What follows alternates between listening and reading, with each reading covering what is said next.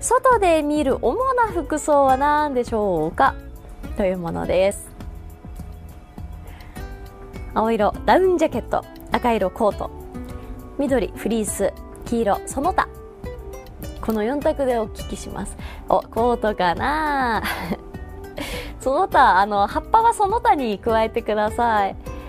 でも外ですよ。夏だと葉っぱもありでもね今冬から春の間ですからね、うん、あビジネス街だしコートじゃない？どうかな？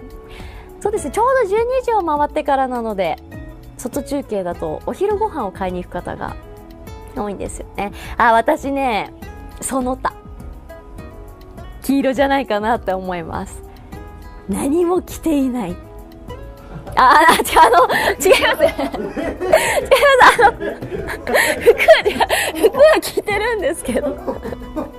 ちょっと表現間違えた。あの、すいません、えっと、服、服は着てるんですけど、あの、上着をね、何も着てないですよ。いやー、変なこと言っちゃいましたね。もうなんか恥ずかしくなっちゃった。違う違う、それは問題ですよね。はい、はい。なのでその他です。言いたいことは分かってますよね。分かってると思う。はい。今日はあまり気温が上がらないといった地域多くなっていますね。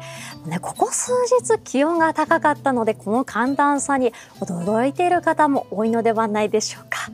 やっぱりね外はひんやりとして寒かったあと風が強いということもありよりね体感温度下がりそうです。ね、昨日はすごく暖かくて私はあの上着を着ていたんですけれども、ね、帰り道は日差しのねぬくもりを感じたのにもう全部脱ぎました。ああ全部じゃないえっと違う違う違う。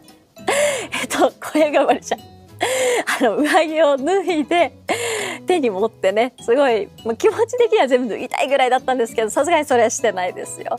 この日差しのぬくもりをですね感じながら、ね、帰宅したんですがちょっと今日はそれは厳しそうですね。どっちかというとこうしっかり締めておかなきゃいけないですね。大丈夫です？いや私が大丈夫ですって感じですね。あの想像しちゃいますね。ね体感差でね風邪ひかないように皆さんも気をつけてくださいね。はい。適度にですよね。ざわっとなりましたが。